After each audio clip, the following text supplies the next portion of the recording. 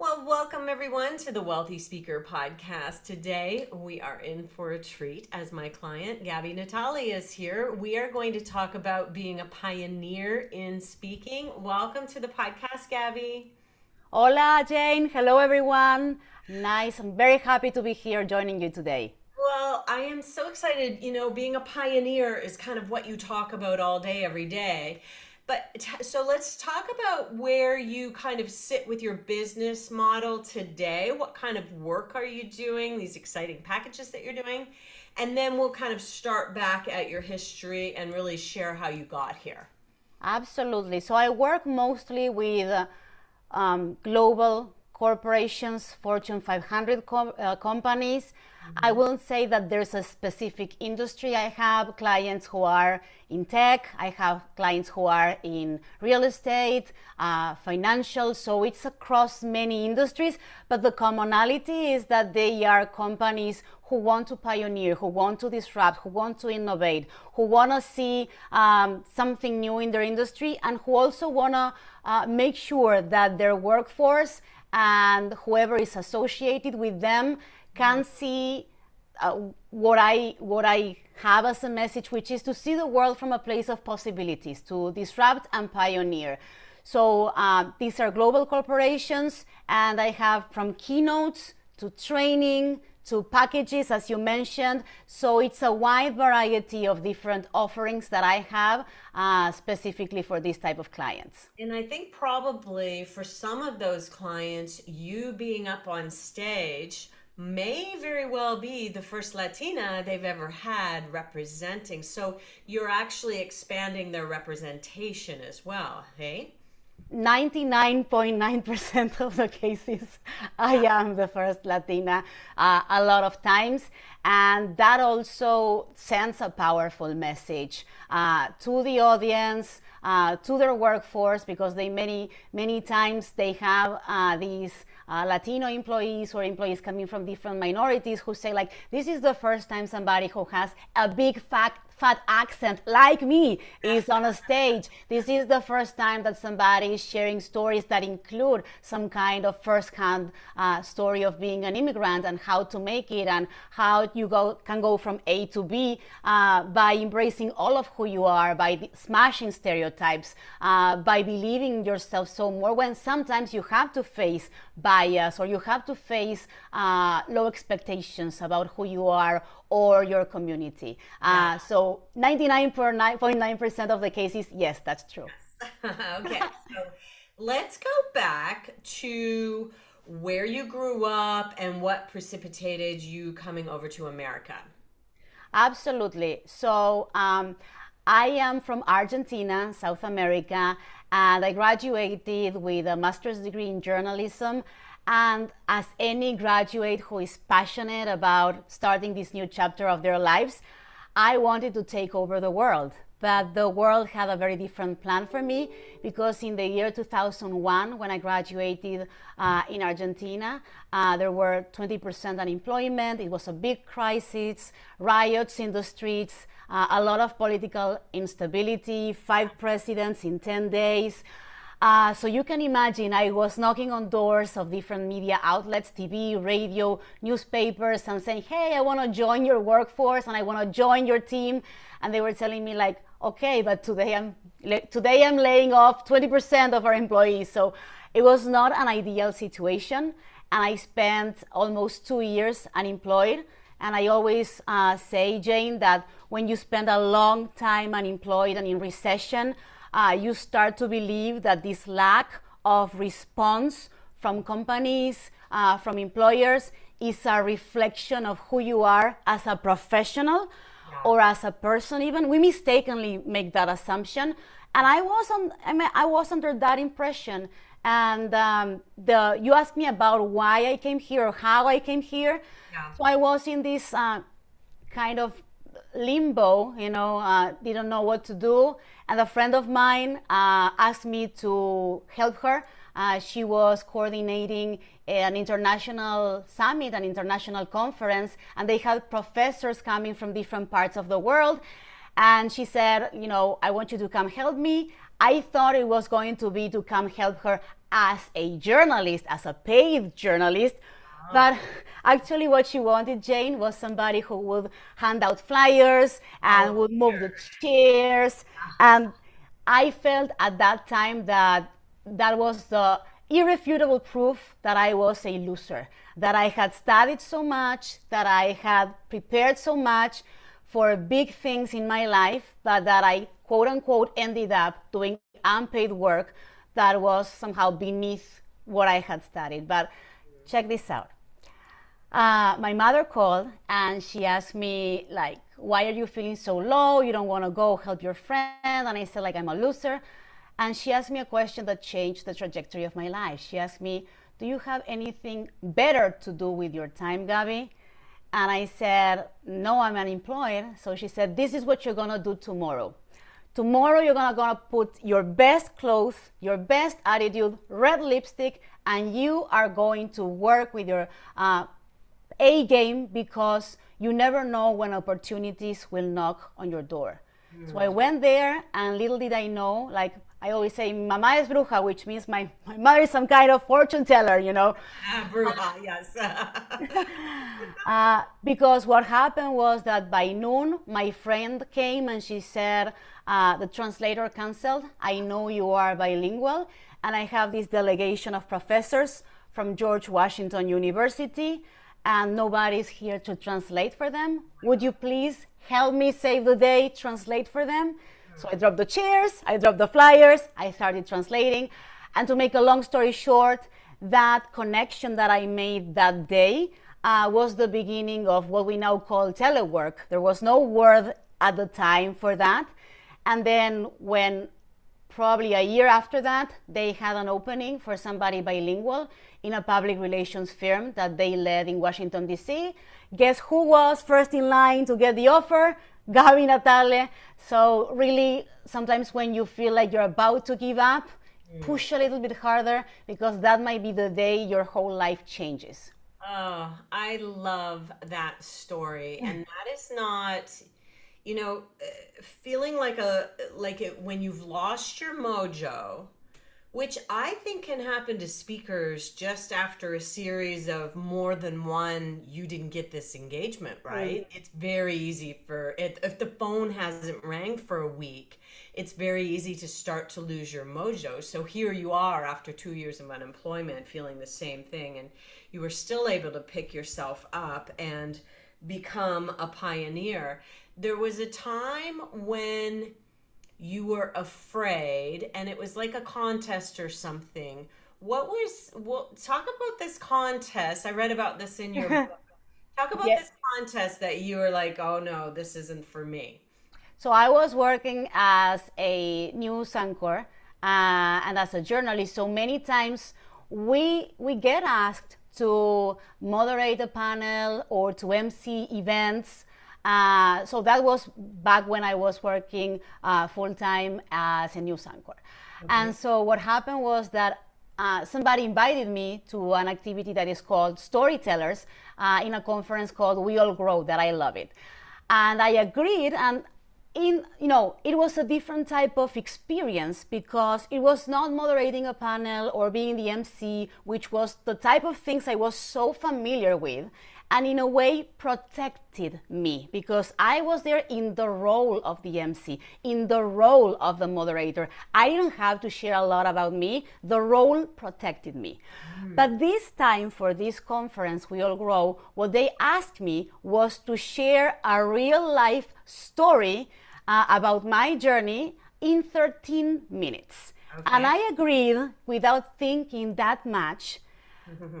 But as the day got closer, I started getting cold feet and I said like, ah, why did I agree to this engagement? Why did I agree to share something? And I knew in the audience there were going to be clients, people in my industry. So I felt that maybe if I if I shared something personal, it would even hurt my business. It could even hurt my reputation in a way. Mm. But I said, if I'm gonna do it, I'm gonna do it right, and I'm gonna be truthful. So I shared uh, some of the stories about being unemployed in Argentina, and I said, like, um, I'm not going to care so much about being perfect. I'm just going to be truthful because I am convinced that the most important thing we have as communication, as communicators and as speakers is our truth and also our energy. Uh, 80% of what we communicate is not the words that we say, it's not, you know, the perfect delivery. It is how you show up for people. Uh, so I went there and I opened my heart, shared these stories, and I connected with people. And as I was walking down the stage, I already felt, Jane, that I had won something. And what I won was to conquer my fear of opening my heart in front of a large audience instead of being the, the serious reporter. Yeah, because isn't it one of the rules of journalism to never become the story yourself? right so you're coming out from you know kind of out out in front of the camera to be the person who's like the show but it's usually you're highlighting somebody else not yourself and so this was you saying all right i'm okay being in the spotlight huge and i was not okay at all being in the spotlight so what i didn't know because i felt already like hey i won i won by opening my heart and conquering my fear and what i didn't know was that there was a literary agent in the audience. She heard my story, she heard my delivery, so how I connected with the audience. And so the following week, she reached out to me and said, like, there's a book here. And I said, yes, there is a book. I had already done like the first draft of The Virtuous Circle, my book.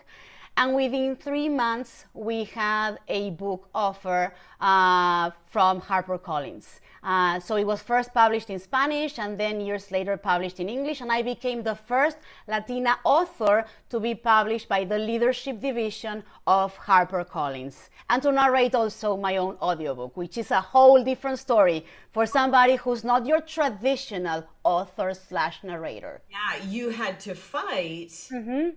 to you had to fight to actually be the narrator of your own audiobook because of your accent. And so, number one, you're a pioneer at being on that stage and doing so well, but also a pioneer in terms of first Latina author with HarperCollins, signed to HarperCollins, and then fighting to audio to narrate your own audiobook. I mean, imagine a, a speaker them saying no you can't. It's got to be somebody else without an accent. Like no. And i'm so proud of you for fighting for that. That is amazing.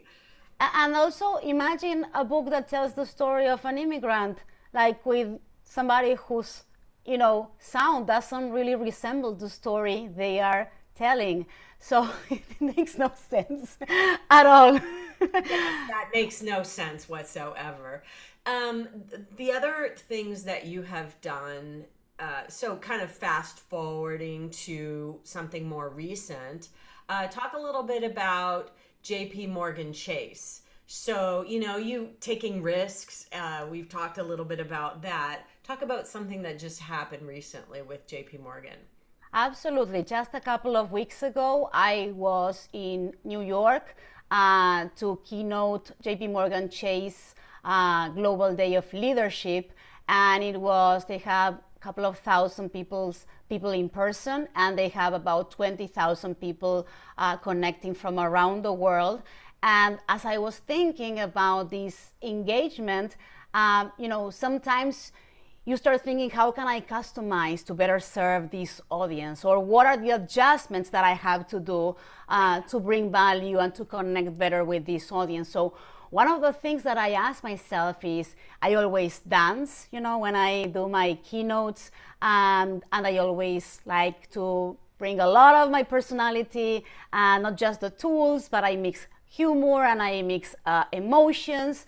And I said, like, this is a financial sector, so probably it's gonna be more conservative. In my mind, I, this is what I had as a prejudice. So uh, maybe it's to be more of a conservative audience, and I don't know how they're going to react with all the colors and the dancing. Uh, and then I also thought, how can I customize it? And I said, like, this is people who hired me. Not in spite of who I am, but because of who I am. And that's such an important thing to realize. Uh, whoever is already interested in you is not in spite of who you are or your message, it's because of who you are and your message. So, what I did is I commissioned like an uh, special remix to get there, to, uh, to really start with a lot of energy and 25 seconds of dancing, which they loved because we were coming from a virtual uh, session before. So the energy of the room completely changed. I kept my colors, was dressed in red and pink at the same time, and kept 100% of my personality and what I thought was the core of my message and my style. And it was such a big hit that really made me think so much about the importance of not making assumptions first about your audience because uh, you may think uh, a certain industry or certain people are one way or another and they are not. And the second one is like if you are trying to change who you are to please each audience, which is something different than customizing, not customizing, but changing the core of who you are for each audience. It's like going to a restaurant where they have a specialty, and let's say the specialty is cheesecake and then people are going to that restaurant because they love the cheesecake and they heard the cheesecake was wonderful and you are serving something else and you are serving uh, i don't know sandwich. And so like i came here for the cheesecake but why are you bringing me a sandwich? It's crazy. But that's sometimes what happens when we're starting to second guess ourselves. So that's why i'm so happy that i went 1 million percent which which uh, with the things I believed were the best to serve that audience. I love that. Authenticity coming through, bringing your whole self.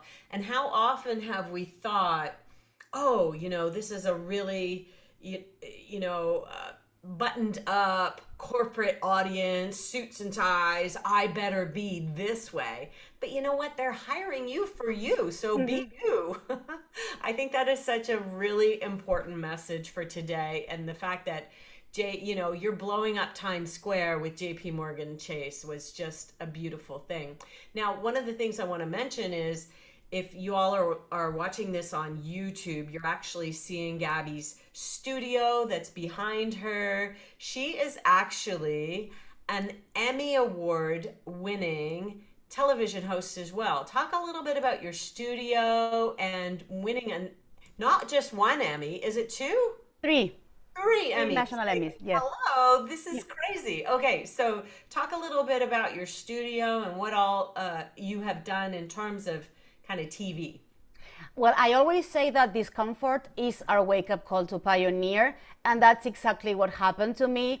I was working uh, in TV first as an employee, and I, I realized that I was pushed to be put in one of these two media personas, stereotypical ones. Media persona number one, it's the hypersexualized Latina, the sexy reporter who is usually assigned to entertainment and weather. That was not me. Mm-hmm. and the second one was like this formal news anchor with a deep voice and a robotic delivery. And that was not me either because I'm spontaneous. But I realized that if I wanted to move forward uh, in the path that I had, they were expecting for me to embody someone that I was not. And I could do it. I was able to do it if I wanted to. But in the way of doing that, I would be somebody who is very unhappy. Uh, so I don't want to be a wannabe. I want to be me. I want to bring all that I am uh, to whatever I'm doing. So I quit my job as news anchor. Everybody told me that I was crazy, but I created my own media company. Agrandar Media. And I credit that decision with everything that happened next the three Emmys, the possibility of becoming a published author, first Latina in HarperCollins, and this career as a speaker because it all comes from a place of truth, from a place of, I always say uh, the difference, Jane, between emulator and pioneer. Emulator is somebody who looks around, see what everyone else is doing, and then want to set their future goals based on someone else's past result. You want to emulate their achievements, and there's nothing wrong with that. Yes. But if we all emulate, our best case scenario is the status quo. Everything is going to stay the same if we all emulate. The second choice is what I call the pioneer spirit. To pioneer, it starts in the same way. You look around, see uh, what everyone like you is, do- is doing, but only this time you open yourself up to the possibility of doing something no one else like you has done before. You open yourself up to the possibility of being a pioneer. And that's what I did unconsciously in that moment. I didn't want it to be the sexy one. I didn't want it to be the formal news, news anchor. I wanted to be who I was. And I always say, and this is not just for the speaking industry, but for every industry, mm-hmm. every industry has blind spots. Mm. And the flip side of a blind spot is a white space mm. of opportunity. So, wherever you're working, whatever you're doing, think about one, what is the blind spot that you're seeing? And the second one, what is the white space of opportunity? And if you pioneer and get there first, you're gonna have so many more opportunities. Because instead of fighting with each other for that single opportunity that everybody wants to get, you're going to open a new space for yourself that you can claim as your own. And that was exactly what happened with my own career. Oh, I love that. I love that. And your statistics just keep growing. Uh, 2018, People Magazine named you one of the 25 most powerful Latinas. You have 52 million, that's with an M, people, views on YouTube, 250,000 followers on social media. You have built an empire for yourself. And I just I I just want you to bask in that for a second and go, yeah, actually, I have really done that. What do you think? Uh, well, talk about YouTube just for a second. 250 million views, or sorry, 52 million views. What was the uh, was there one thing in particular that went viral for you on YouTube, or has it just been all accumulation of a bunch? It's it's funny because I always joke that I would love to say that I was this visionary when I started my YouTube channel and that I saw the future of technology because I started uploading content. I think it was in the year 2009, 2007, so it's a while ago. But in all honesty, Jane, I have to be honest, I wanted my mother to see my videos in Argentina. And the oh. easiest way for me I mean, the files were so big, I started uploading my work in YouTube so that my mother could see it on the other side of the world.